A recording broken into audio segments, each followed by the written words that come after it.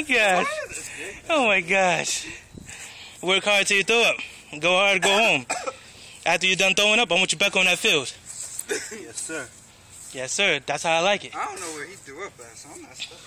I don't know. I think I just stepped in it. that shit. Yo, I like how he just like tripped or something. He just threw up in midair or something. That's right. Yo, he always doing so spectacular when he do. Yeah. you remember when he got out the car? It just spilled. It was like a faucet. That's right. Motivation, hard work. You ain't you ain't get those muscles just by sitting around. That's how you tell. And that's how you know you've been working hard and you've been throwing up, right? Yeah. That's right. Oh, you should have ate something. What's up, man? Come on, man. All right. And Gary, you want to say anything? You should have ate some. That's right. well, I think if he would have ate something, it, it would have been more, I ate some. more nasty. I ate this.